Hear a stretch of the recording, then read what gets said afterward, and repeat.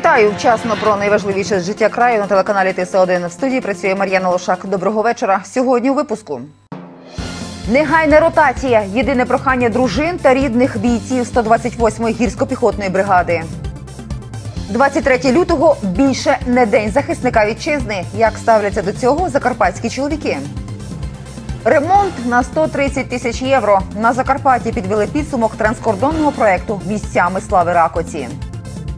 Туристичне Закарпаття розвивається. В Ужгороді розроблять карту путівник по міні-скульптурах.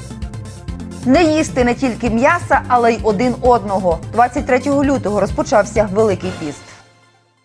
Негайна ротація. Єдине прохання дружин та рідних бійців 128-ї гірсько-піхотної бригади. Саме з цією метою у суботу, 21 лютого, вони зустрілися з керівництвом краю. Очільники Закарпаття запевняють і самі хочуть, аби закарпатські воїни чим швидше повернулися додому. Деталі далі у сюжеті. Уже близько шести місяців родини військових 128-ї гірсько-піхотної бригади очікують на своїх рідних. У очах відчай. На зустрічі з керівниками краю вимагають тільки одного ротації. Маємо ротації. Ми вимагаємо відпустки для тих хлопців, котрим що положено. І є хлопці, котрі перебувають 6 місяців, 8 місяців на передовій, не бачачи своєї сім'ї, своїх дітей, як вони ростуть. Приїжджаючи додому, маленькі діти батька не впізнають, того що вони його забувають. Щоб заспокоїти присутніх та запевнити, що питання буде вирішене, народний депутат Валерій Пацкан особисто зателефонував міністру оборони України Степану Полтораку. Пацкан, народний депутат, е, по, по 128-й бригаді. Будь ласка, підтвердіть мені інформацію, яку ви мені пообіцяли щодо ротації 128-ї бригади. Хлопці задачу виконали, тому величезне спасибі всім і всіх вітаю. І скоро вони будуть вдома. Хай хвилюються. Жінка, яка довгий час очікує свого чоловіка із зони АТО, закликала не висловлювати перед керманичами області обурення. Не надо кричать. Нам действительно, нам пообещали. Сейчас то, что могут сказать наши представители власти, они дают ту информацию, которую они получают от командующего силами АТО. Не брешит наш губернатор щелчком пальца и ребята здесь. Закарпатським військовим, які служать у зоні АТО та їхнім родинам, планують виділити земельні ділянки. Наразі подано 1800 заявок. Пообіцяли забезпечити воїнів і фаховою медичною та психологічною допомогою. Але зараз найголовніше зробити все можливе, аби наші захисники повернулись додому. Ми хочемо допомогти і робимо все для того, щоб була ротація наших хлопців, щоб вони повернулися додому, забезпечити транспорт, е, е, швидку допомогу, дві швидкі допомоги, е, забезпечити їжею хлопців на дорогу з сухпайками, допомогти так, щоб вони по-християнськи, по-людськи приїхали, і ми їх хочемо зустріти так, як, як наших героїв. За словами керівників краю, хлопці уже найближчим часом будуть вдома. Автобуси з Харкова вирушать у Артемівськ за закарпатськими військовими. Залишається тільки дочекатись. Як стало відомо, керівництво Міністерства оборони України прийняло рішення щодо планової ротації підрозділу. Інформація про це з'явилася на офіційному сайті відомства. Військовослужбовці несли службу у місті Дебальцеве Донецької області та вийшли із зони бойових дій. Зараз колона закарпатських автобусів перебуває у Харкові. Чекають ще одну колону. Відтак вирушать за військовими в Артемівськ. Будь-які деталі переміщення підрозділів не оприлюднюються з метою безпеки. Ужгородські активістки, які з нетерпінням чекають приїзду героїв 128-ї бригади на Закарпаття, вже готуються до зустрічі з ними. В одній із соціальних мереж студентки написали про свою ініціативу зібрати кошти та організувати військовим святковий прийом. Вже вдалося зібрати кілька сотень гривень та п'ять ящиків шампанського. Ще вчора дівчата планували збирати гроші на театральній площі, проте для реалізації їх задуму вистачило посту у спільноті підслухано Ужгород в соціальній мережі.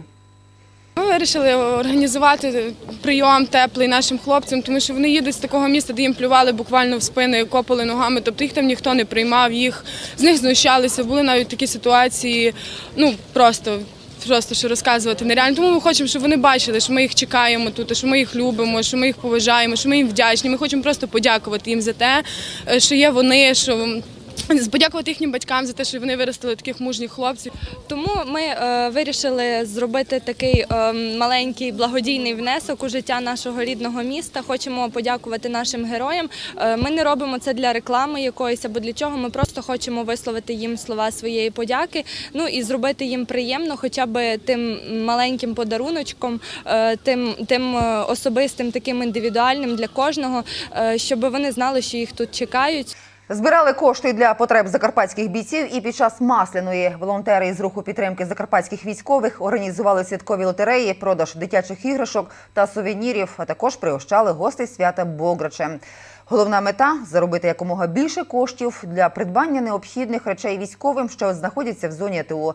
За словами активістів, зібрані на ярмарку кошти будуть витрачені на буржуйки, нову зимову форму для бійців, а також на потреби шпиталю, де наразі лікуються закарпатські військові, які вийшли з Дебальцевого. У підсумку протягом двох днів волонтери заробили для військових майже 17 тисяч гривень. Із них 10 тисяч передано Ужгородській філії місії Чорний тюльпан, яка займається вивозом загиблих із зони вогню. Закарпатський обласний центр здоров'я інформує для оперативного вирішення проблемних питань щодо надання медичної допомоги військовослужбовцям, які повернулися із зони проведення ТО, відкрито медичну гарячу лінію. За інформацією звертатися за наступними номерами телефонів в Ужгороді.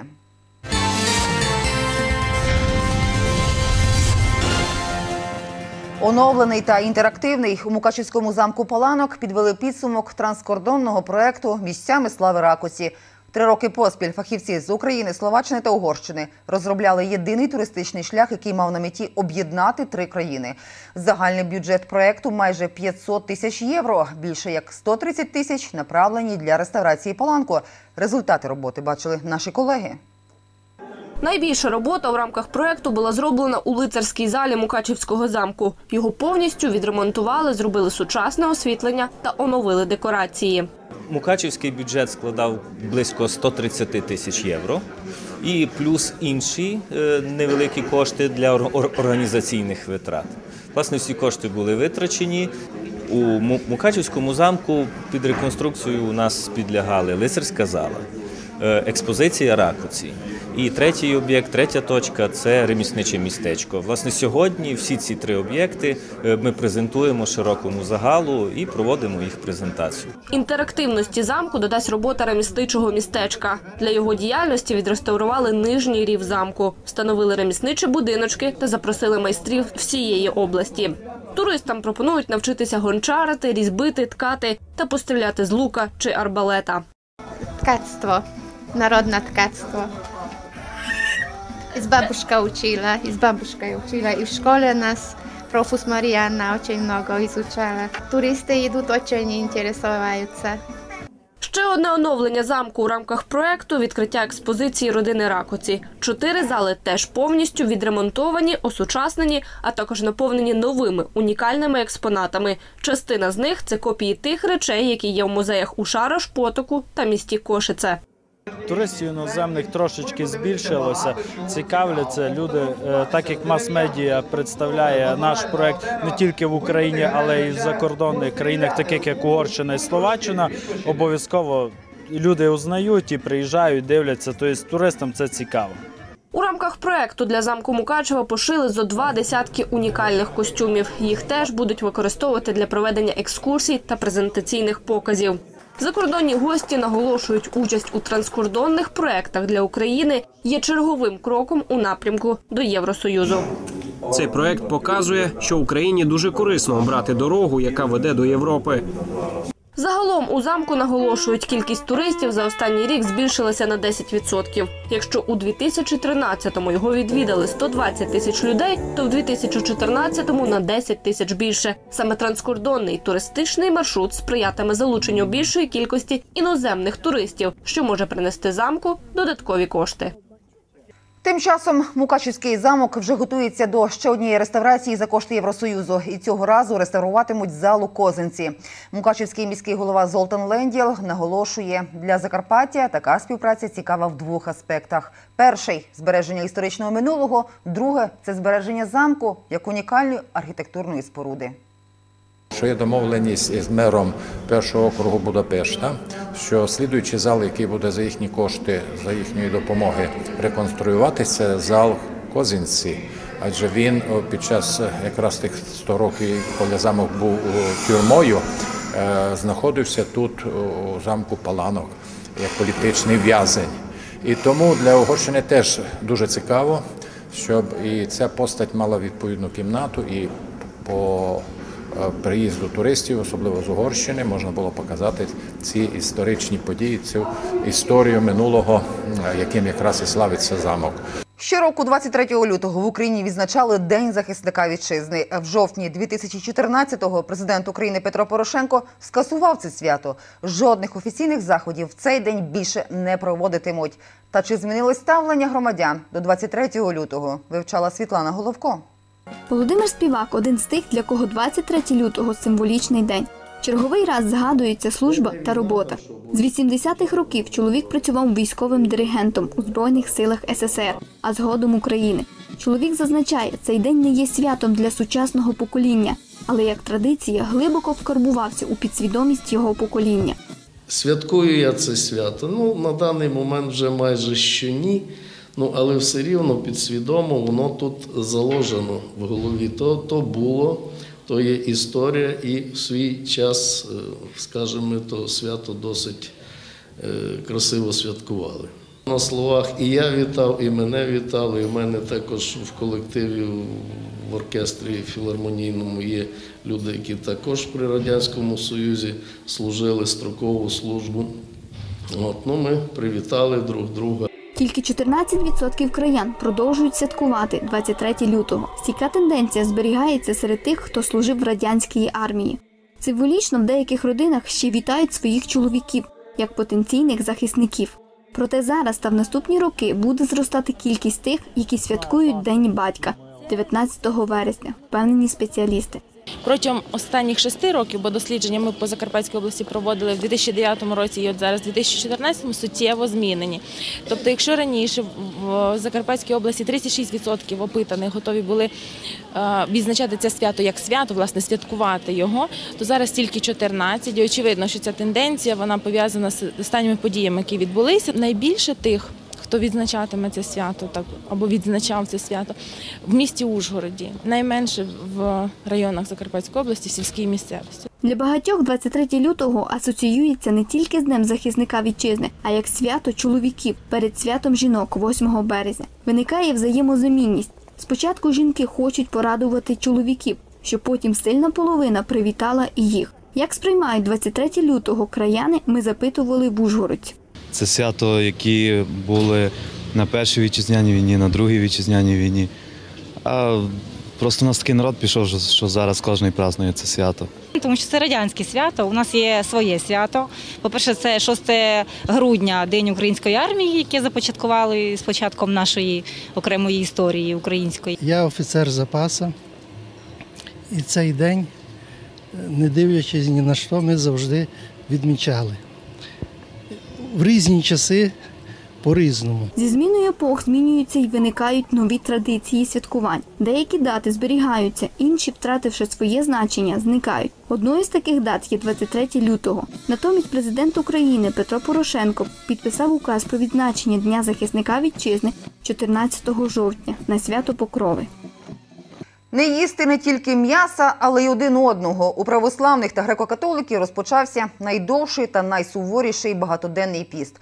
Період Великого посту це передусім час для покаяння, примирення з Богом, а також час для роботи над власним духовним зростанням. Як проводять ці 40 днів закарпатці, дізнавалася Неля Янчук. Дотримуватись посту заради конкретної цілі, стати новою людиною, кращою людиною. Ця зміна і є змістом Великого посту, пояснює отець Михайло. От різні, е, різні речі, які ми звикли розуміти як піст, відмова від тих чи інших речей їжі, чи навіть е, деяких е, злих звичок, воно нам допомагає відкинути те, що може нас обтяжувати, те, що не є найголовніше в нашому житті, для того, щоб звернути увагу на те, що є найголовніше, на наші відносини людини із Богом і людини із людиною. В останні роки постять не тільки аби очистити душу чи тіло. Тенденція відмовлятись від певних продуктів вже стала своєрідною модою. Заклади харчування створюють спеціальні пісні меню. Таку моду церква, м'яко кажучи, не схвалює. Мода це мода і нічого з постом не має спільного. Дехто не їсть для того, щоб схуднути, це теж нічого не має з постом спільного. Піст, я підкреслюю, є, має свої цілі. І ця ціль полягає в тому, щоб людина ставала іншою людиною, кращою, новою. Більше 20 років ця жінка не вживає ані м'яса, ані риби, ані яєць. Пані Марія вегетаріанка каже, за весь час жодного разу не була в лікарні. Здоров'я покращилось і взагалі про хвороби забула. До посту відноситься позитивно, адже вважає, що відмова від м'ясних продуктів це перший крок до духовного очищення. До, до цього християнського поста треба готуватися, звісно, не тільки піщею. але треба і щоб і думки були, настрій був ну, позитивний, дружелюбний, один до одного в сім'ях, щоб старалися люди у сім'ях своїх е, знайти спосіб розуміння. Фахівці стверджують, для людського організму відмова від м'яса стрес. Людям похилого віку та людям з хронічними хворобами медики не радять дотримуватись посту. Лікар відзначає, не раз до неї звертались пацієнти, в яких піст завершився виразкою шлунку, гастритами та загостренням хвороб печінки. Відказуватися зовсім від м'яса у, у хворих це неправильно. Здорові можуть замінити м'ясо другими білками, бобовими, гречкою, там, де є творогом, але зовсім відказуватися від м'яса хворим не можна. То чи дотримуються посту ужгородці? І що таке піст? Відмова від м'яса, перший крок до духовного очищення чи дане на моді. Я не дотримуюсь посту, бо я вважаю, що мені це не потрібно. У мене молодий організм, він требує поживних речовин. А то, що ми не будемо їсти певні продукти, я думаю, від цього дуже багато чого не поміняється. Ні, ні, я не віруючий, я не дотримуюсь посту. Ну, бо так якось з дитинства пішло. Да, так нас дитинства, батьки. Посту? Дотримуюсь. Ну, іноді дієту хочеться соблюдати. Я дот- пару років стала дотримуватися. У книжці одне написано пост і молитва для того, щоб ви стали чище. Всім прощать. Хто не має сили волі, той нехай їсть. І до новин спорту з 15 до 21 лютого в Мукачеві проходив чемпіонат України з легкої атлетики. Змагання такого рівня на Закарпатті пройшли вперше. За їх підсумками відібрали кращих спортсменів на зимовий кубок Європи, який проходитиме у Португалії в середині березня. На жаль, закарпатці з 19 команд посіли лише 16 місце. Чотири дні Мукачево було центром легкоатлетичних змагань України з метальних видів спорту. За два місяці на стадіонах СОК ДЮСШ та харчових було споруджено сектори відповідного рівня, які дозволили провести у місті над Латорицею чемпіонат України. Над втіленням проекту спільно працювали Федерація легкої атлетики України, Закарпаття, Мукачівська міська рада та небайдужі до королеви спорту громадяни нашого краю. У складний час споруджено спортивний об'єкт, який дасть новий поштовх розвитку легкої атлетики на срібній землі. Два місяці назад ми тут були, ще нічого не було, ні сектора, нічого. І тут видно, що люди мають бажання. Те, що ми маємо Мукачево, це велике підспоря для нас. Ми тут плануємо і проводити збори. До міста над Латорицею приїхали 19 команд областей України та Венесуели. Понад 250 спортсменів, із яких 15 майстрів спорту міжнародного класу, 31 майстер спорту та 52 кандидати у майстри спорту. Чемпіонат України став відбором метальників списа, диска та молота на чемпіонат Європи, який до слова пройде в березні у Португалії. Е, Це і метання спису. Е, Є у нас е, спортсмени, які, скажімо так, входять до двадцятки найкращих спортсменів світу. Це і в метанні молота. Є спортсмени у нас, які теж здатні показувати результати на світовому рівні.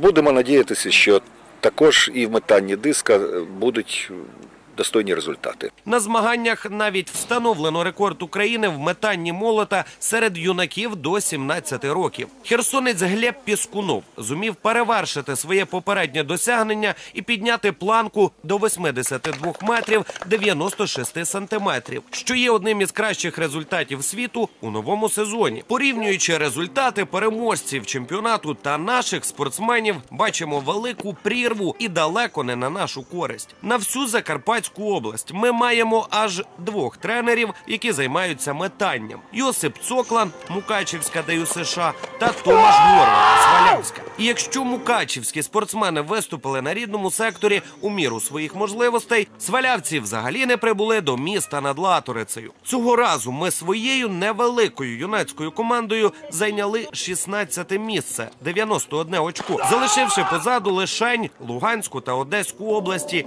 Крим та Венесуелу. На цьому наш випуск завершується. І вже на завтра наші журналісти готують наступні теми. Податкова проти бізнесу. Підприємця з Чинадієва оштрафували на 8 мільйонів гривень. Футболу бути вже цими вихідними стартує чемпіонат України з футболу. Про особливості підготовки команди до початку турніру. Дивіться вже у завтрашньому випуску новин. На цьому я з вами прощаюся. Гарного вам вечора і нехай щастить.